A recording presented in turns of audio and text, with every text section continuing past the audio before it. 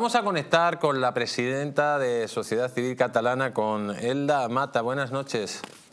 Buenas noches, buenas noches. El día 8 de octubre, todo el mundo a Barcelona a manifestarse contra este proceso, este nuevo proceso constituyente que quiere crearnos Pedro Sánchez a través de una amnistía, de, una, de un referéndum y de una declaración unilateral de independencia. ¿Qué tenemos que hacer todos los españoles el día 8, doña Elsa? Pues indiscutiblemente el día, el día 8 pues estar en, Barcelona y pues manifestar eh, nuestra oposición eh, absoluta a que se estudie, ni siquiera se estudie lo que es una amnistía y, una, eh, y la autodeterminación no tienen cabida en nuestro ordenamiento jurídico, en, nuestra Constitución. Por lo tanto, em, sentarse además a, comentar temas de tal gravedad con quien clarísimamente ha dicho que lo que pretende es eh, romper el país, pues no tiene ningún sentido. Y lo que vamos viendo desde la sociedad civil, pues es que ah, los políticos van eh, em, intercambiando em, eh, pues posiciones para ver si encajamos por un lado, encajamos por el otro, entramos por la puerta de atrás, etcétera. Y eh, realmente yo creo que es eh, muy claro que, la oposición es, es, es no, o sea, no a la amnistía, no la autodeterminación y desde luego eh, no, no en mi nombre, no, no en nuestro nombre, es eh, por respeto al, al, Estado de Derecho democrático. Doña Elda, eh, si se aprueba la ley de amnistía, ¿directamente se estaría derogando la Constitución española del 78 por la puerta de atrás? Indiscutiblemente la Constitución española se basó en, un consenso entre las fuerzas políticas y también en un posterior desarrollo de, la Constitución basándose en la lealtad a ese Estado de Derecho y a la construcción de una España mejor, más solidaria e igualitaria para todos los españoles. Eh, retorcer eh, los artículos de la Constitución para eh, dar cancha a que quien quiere romper España tenga una manera de hacerlo, pues es una, es una aberración. No, no, eh, yo creo que la sociedad civil y desde luego la entidad que yo represento, pues estamos absolutamente en contra. No, esa no es nuestra constitución y además no tiene ninguna lógica que eh, partidos absolutamente minoritarios que no tienen representación en toda España, excepto en Cataluña, estén eh, secuestrando pues, eh, la soberanía nacional que, reside en cada uno de los españoles. O sea, es incluso una aberración pensarlo, no, no hay lugar. Doña ¿usted está a favor si esto sucede, de una rebelión cívica, como proponía el presidente de gobierno, señor Aznar? Pues las estrategias y eh, lo que puede llegar a decir pues, un partido político o sus representantes, bueno, pues eh, eh, es cosa de, ellos. Yo lo único que puedo es manifestar la opinión de la sociedad civil a la que represento y a todos aquellos que estarán con nosotros el 8 de octubre, dando nuestro, nuestro clarísimo mensaje de, claro que hay líneas rojas en un Estado democrático de derecho, por supuesto que no todo vale.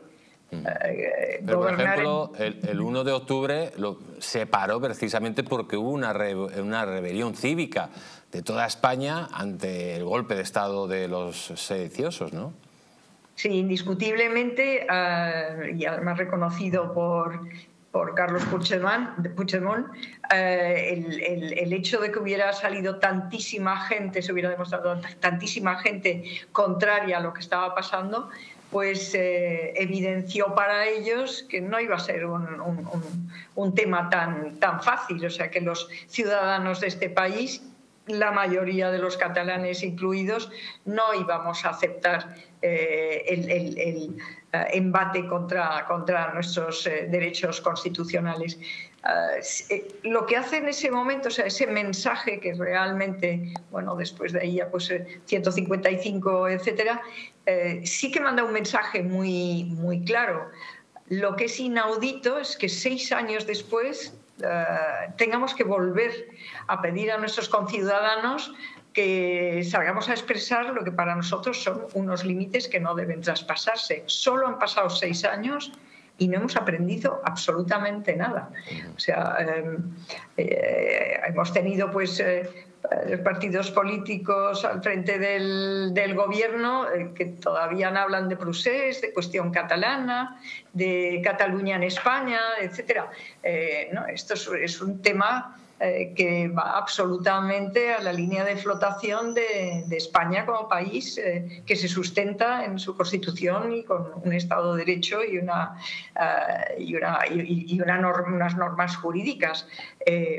es realmente, después del 2017, no hay excusa para todavía dudar de cuáles son las, las intenciones de los partidos nacionalistas. Mm. Eh, romper España, fundamentalmente. Eh, Doña Ella, ¿usted cree que el, el 1 de octubre se cerró en falso con las medidas que tomó el gobierno? ¿Que había que haber tomado medidas más contundentes y no convocar unas elecciones después de un golpe de Estado?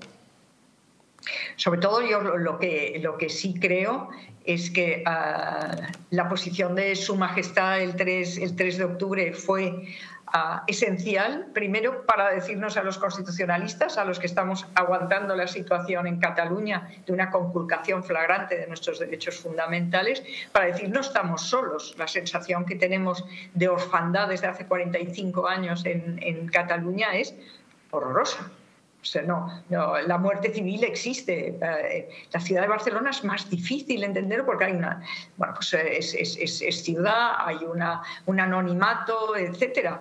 Pero el, 1 de, el, 8 de octubre, si hay personas que quieran venir en un autocar pues a, Barcelona a una manifestación, en los pueblos pequeños se sabe perfectamente quién va y quién se mueve. este mirar hacia otro lado sin proteger los derechos de todos los españoles, bueno, pues lleva pasando 45 años pensando aquí no pasa nada, eh, total, esto es una pequeña cesión, total, pero el nacionalismo claramente va hacia una inestabilización de los países y a romper España y, por supuesto, la Unión Europea. ¿no? Eh, parece que después de la la invasión de Ucrania, eh, pues eh, también la Unión Europea se ha creído algunas de las cosas que les hemos dicho muchos, entre ellos eh, Sociedad Civil Catalana, con determinados documentos. Es decir, por supuesto que hay injerencia, injerencia en, los procesos y en los gobiernos de, determinados países, como puede ser España a través de Cataluña, con una intencionalidad clarísima, ¿no? que es eh, romper, romper lo que es la, la, unidad de un país. La Unión Europea se cimienta sobre, sobre eh, estados soberanos. Bueno, pues desestabilizarlos crea una Europa muchísimo más débil en un momento que se necesitan todas las fuerzas para estar unidas y salir adelante después de una pandemia como la que hemos sufrido y evidentemente con una amenaza a las democracias eh, mundiales como puede ser una invasión de, Rusia eh, en, Ucrania.